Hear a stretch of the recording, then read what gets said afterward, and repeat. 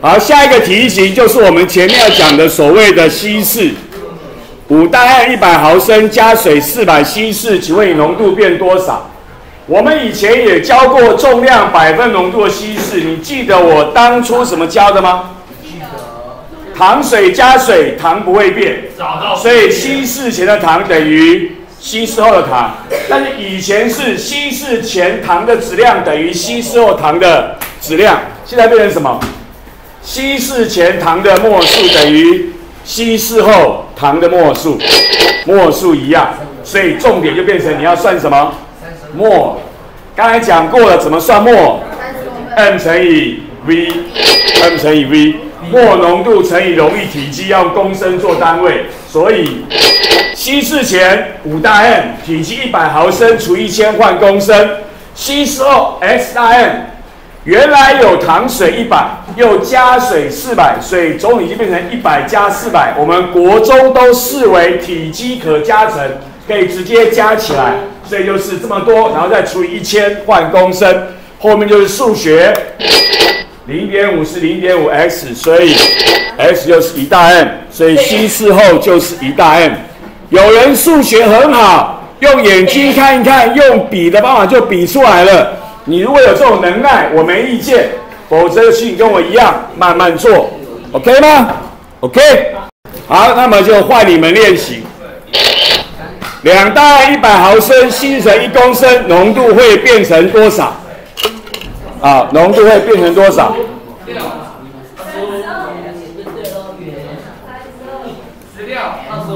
十二号，十二号，三十一号，二十三号，二十三号，上来。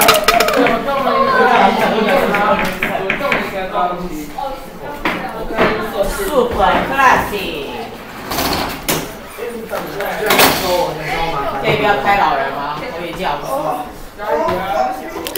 耶耶，老人不用进来，来去中间好不好？对，谢谢，谢谢。Oh my god，太感谢了，谢谢。中间走开，去左边一点，谢谢。好，感谢。好恐怖哦！哎呀，哦，啊，哎呀，我是个人来，中间看别人的。哦，好的，好的。你叫欧梦，对吧？欧梦看一手臂，不知道？这是你来是怎么样？我都是这样吗？哦，没有没有你的，有啦，有吗？累了，太快了啦！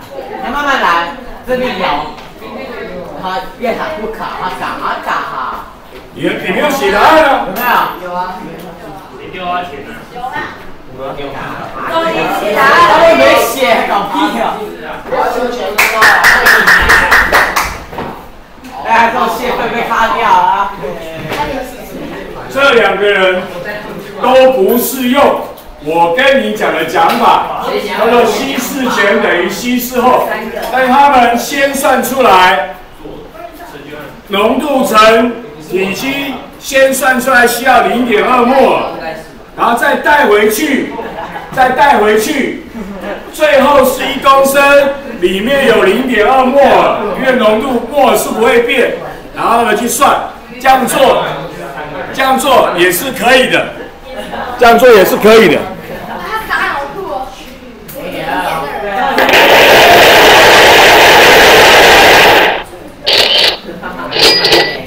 我们的教法叫做稀释前、稀释后，末数是不会变的，所以你就写个等式，稀释前等于稀释后，末就是 n 乘以 v，末浓度乘以溶液体积，所以二乘一百除一千换公升，x 乘以一，所以算出来就变成零点二大 m，OK 吗？OK，下一题。现在要下一题，零点二大 m 的硫酸四百，是从四大 m 多少加水稀释而成？问你那个原来的有多少？它不是问你加水加多少，是问你那个原来的溶液有多少？还是一样，想法就是稀释前等于稀释后，稀释前、稀释后。那你要转别的弯也 OK。请问你，它有多少？还有多少？二十七、十三，然后二十九，上来。上，上，上，快上！快点啊！快上去！快！然后给我玩建成，三十五万，三十五万，三十五万，一百，快上来！快上来！把它擦掉，然后快上来算。把它擦掉，然后算完。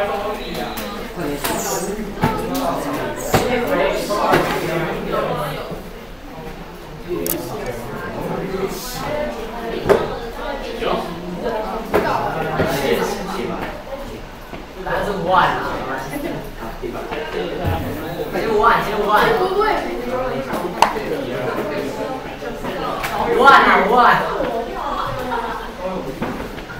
五万。五万啊，五万。人家你的动作好笑，一直看着他。人家看。人家甩动这样子。彤彤不会算。这样子。回去。彤彤不会算，回去。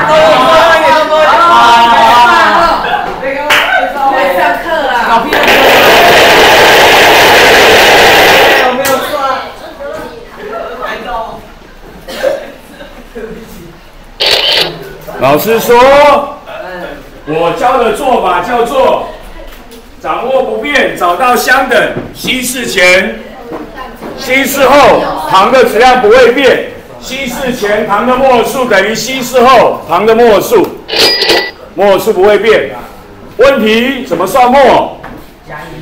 末浓度乘以溶液体积 m 乘以 v。稀释前就是那个四大 M。体积不知道，稀释后就是什么？零点二大 m，体积就是多少？四百。所以零点二大稀释后零点二大 m，体积四百除一千换公升。稀释前浓度四，体积 x 不知道除一千换公升。所以一千跟一千不要，然后呢，四 x 等于零点二乘四百，所以。答案二十毫升，所以答案二十毫升。就是我维持我教的方法。稀释的题目，糖水加水，糖不会变。稀释前的糖等于稀释后的糖，糖的末数等于糖的末数。那怎么算末？m 乘以 v，末浓度乘以溶液体积，就这样想就对了。OK 吗？OK。